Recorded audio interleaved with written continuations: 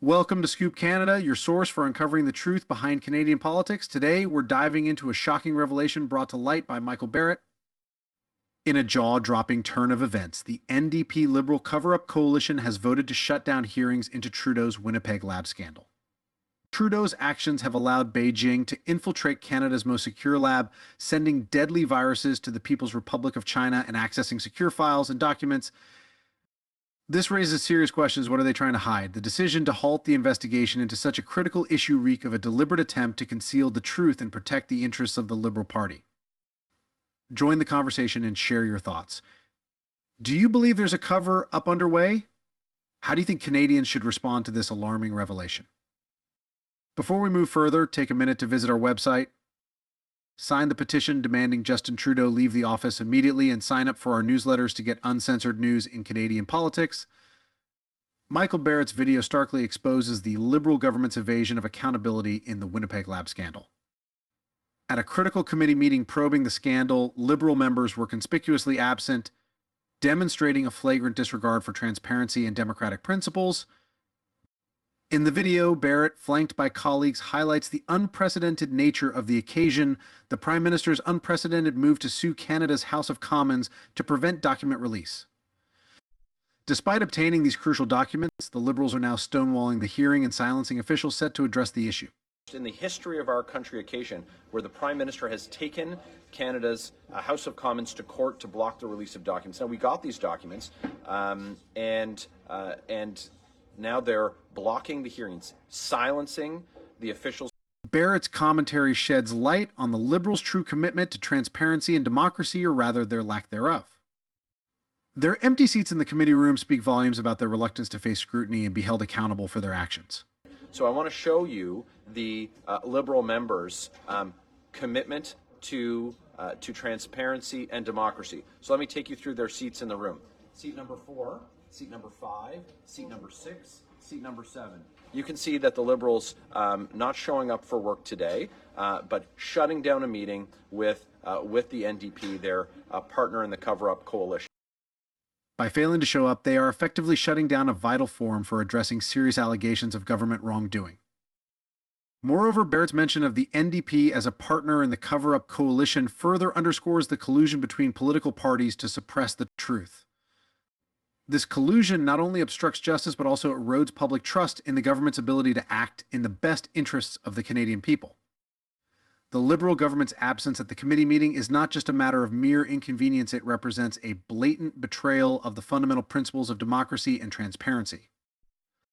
According to a report by the National Post, the joint effort of the Liberals and NDP to shut down an emergency House of Commons Ethics Committee meeting reflects a concerning pattern of negligence toward Canada's national security.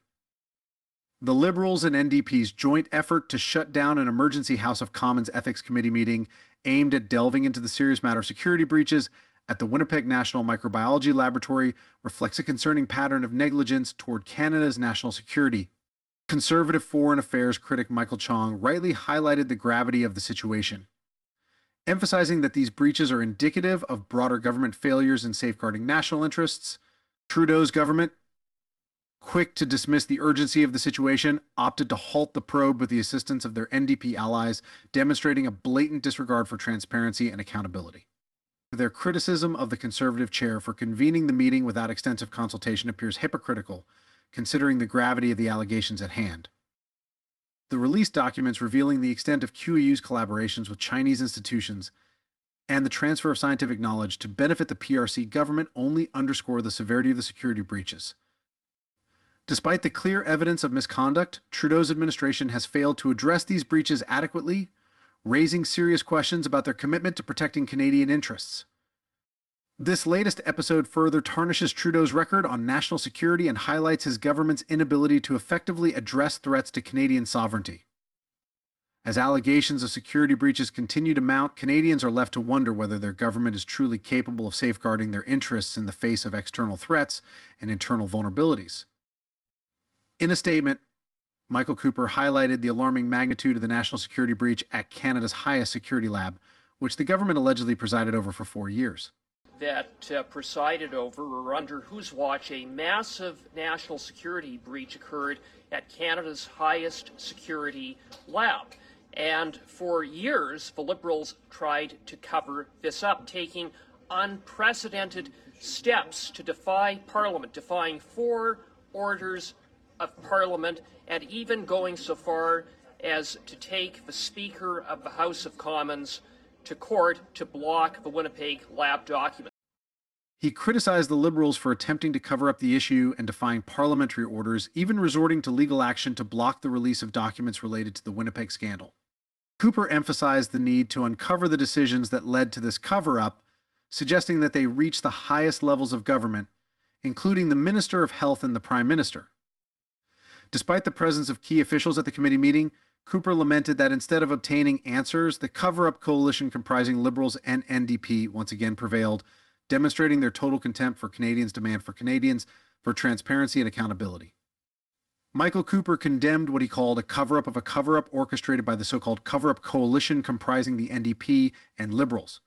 Do Liberal and NDP MPs panicked, and, and at the very first opportunity, they moved a motion to shut down the hearings, to shut down committee. It's he criticized their decision to shut down hearings into Justin Trudeau's alleged cover up of the significant national security breach at the Winnipeg lab, accusing them of prioritizing loyalty to Trudeau over transparency.